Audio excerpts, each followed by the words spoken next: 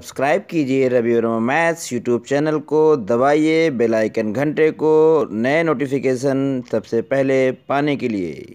Good morning to all of you कैसे हैं आप सब? मैं Khushi, Ravi Verma maths YouTube channel पे आप सभी का हार्दिक स्वागत करती हूँ। जैसा कि आप लोग जानते हैं कि ये जी, जीएस की ट्रिक वीडियो है।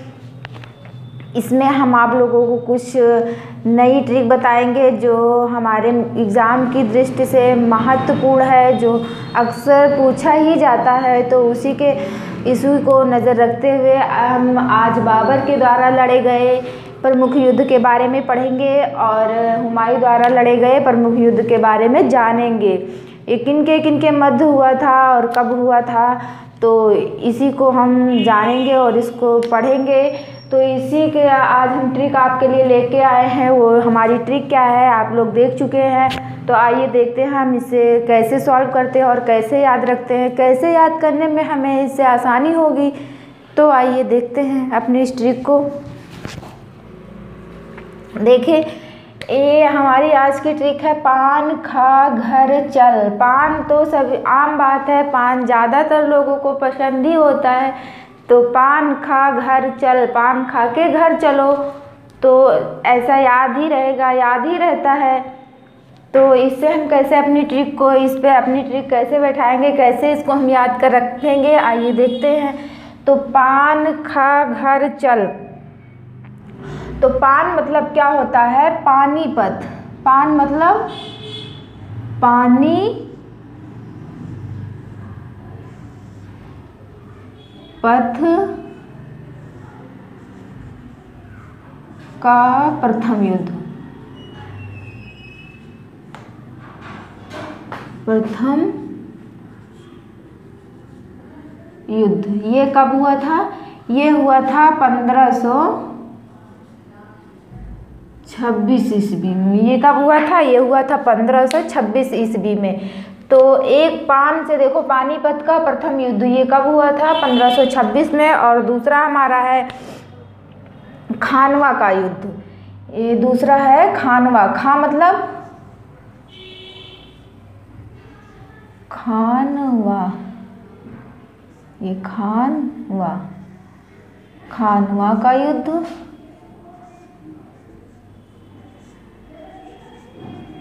ये हमारे एग्ज़ाम में अक्सर पूछ ही लिए जाते हैं और ये कब हुआ था?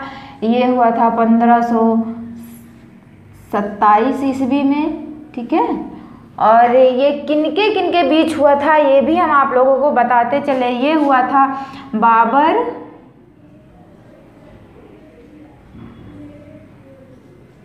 व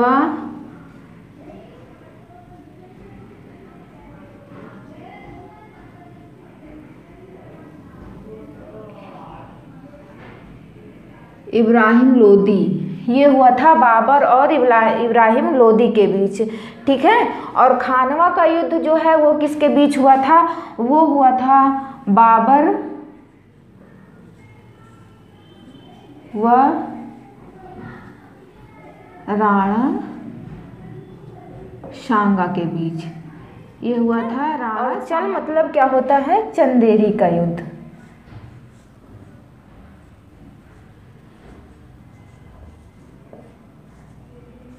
चंदेरी का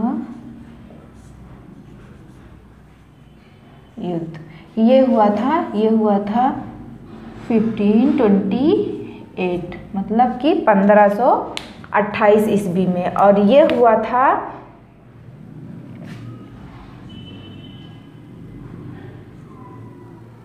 बाबर हुआ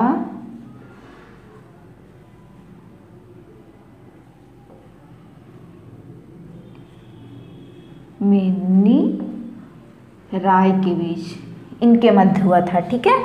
और घर मतलब घाघरा का युद्ध।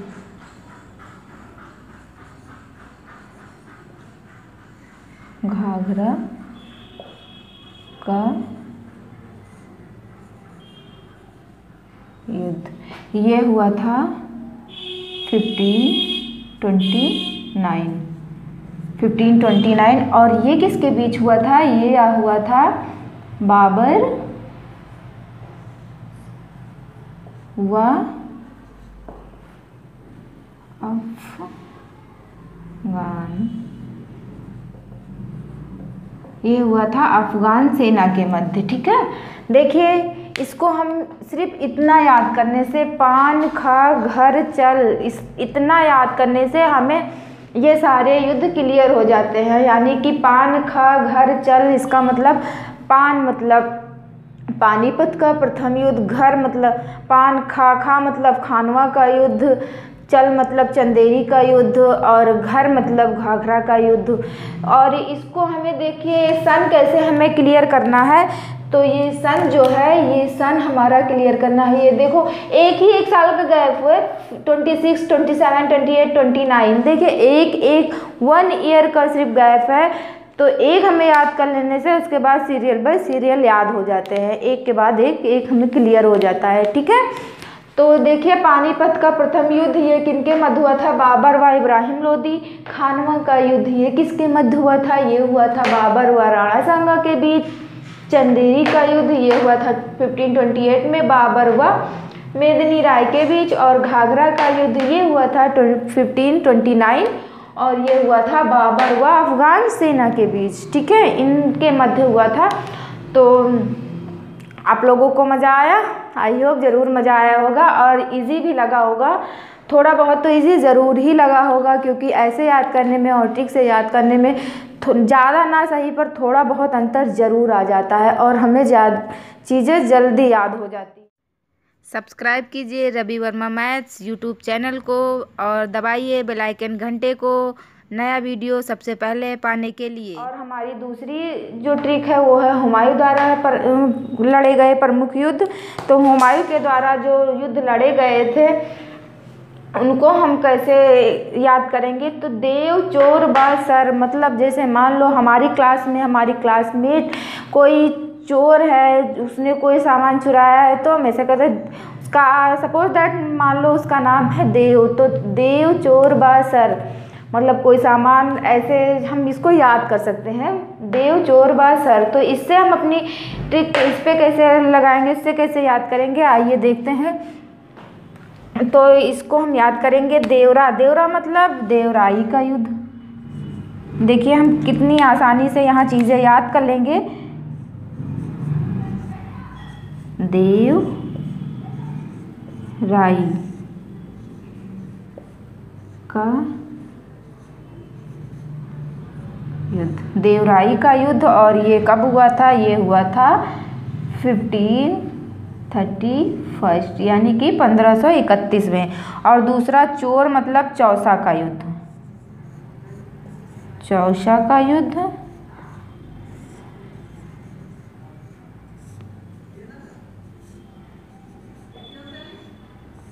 और ये कब हुआ था? ये हुआ था फिफ्टीन थर्टी नाइन ठीक है? ये हुआ था फिफ्टीन थर्टी नाइन में। और बा मतलब बिलग्राम का युद्ध। बिल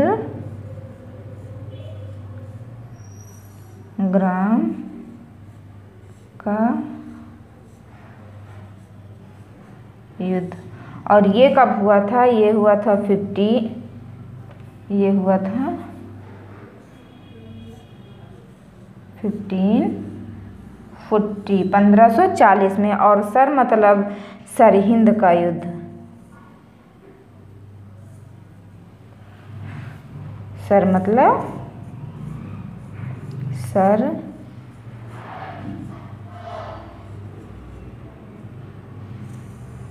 हिंद का युद्ध और ये हुआ था फिफ्टीन फिफ्टी फाइव में। ठीक है? देखिए, हम एक लाइन एक लाइन याद करने से हमें ये सारी चीज़ें याद हो जाती हैं। देव चोर बासर। देखो, देव चोर बासर तो देव मतलब क्या होगा? देवराई का युद्ध, चोर मतलब चौसा का युद्ध, बा मतलब बिलग्राम का युद्ध, सर मतलब सरहिंद का युद्ध।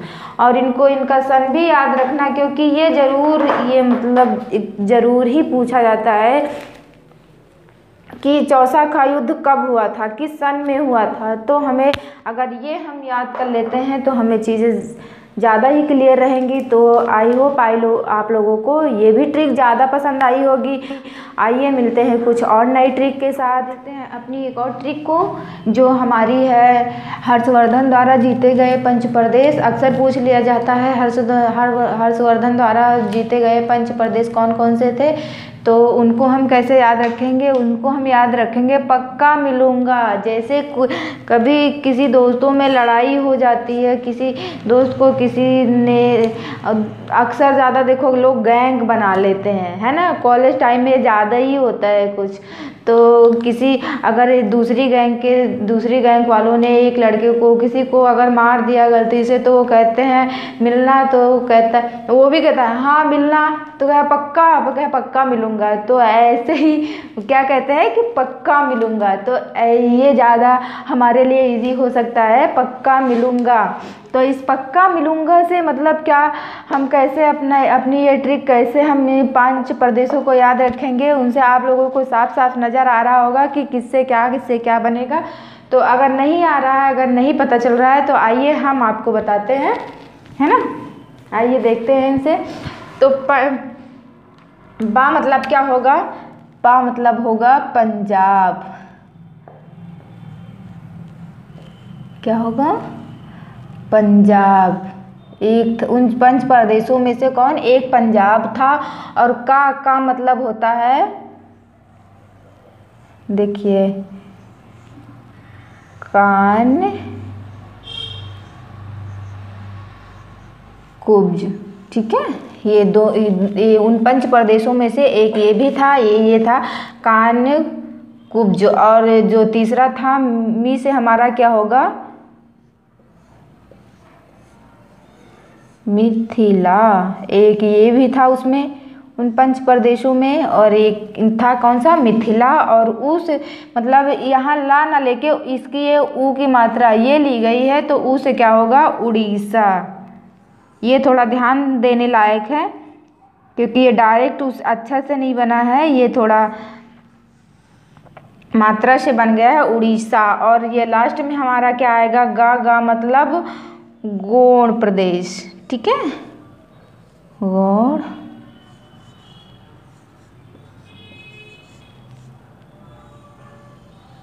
तो ये हमारा हो गया गोण प्रदेश, ये हमारे हो गए पंच प्रदेश, इनको देखो हम कितनी आसानी से याद कर सकते हैं और इम्पोर्टेंट भी है।